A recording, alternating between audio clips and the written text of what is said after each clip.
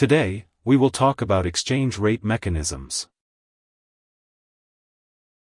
An exchange rate mechanism is a set of procedures used to manage a country's currency exchange rate relative to other currencies. Monetary policy is the process of drafting, announcing, and implementing the plan of actions taken by the central bank, currency board, or other competent monetary authority of a country that controls the quantity of money in the economy and the channels by which new money is supplied. The most notable exchange rate mechanism occurred in Europe during the late 1970s.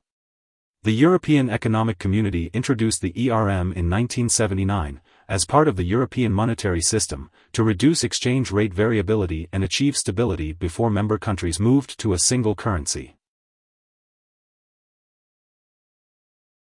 In the months leading up to the 1992 event, legendary investor George Soros had built up a monumental short position in the pound sterling that became profitable if the currency fell below the lower band of the ERM.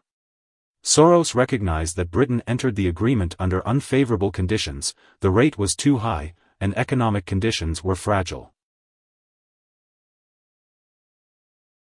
The European exchange rate mechanism dissolved by the end of the decade, but not before a successor was installed.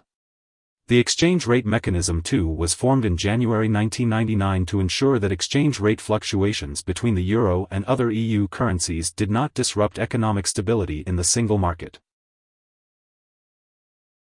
Here are three key takeaways. 1. An exchange rate mechanism, ERM, is a way that governments can influence the relative price of their national currency in forex markets. 2. The ERM allows the central bank to tweak a currency peg in order to normalize trade and or the influence of inflation. 3. More broadly, ERM is used to keep exchange rates stable and minimize currency rate volatility in the market. Hope this would help, thanks for watching.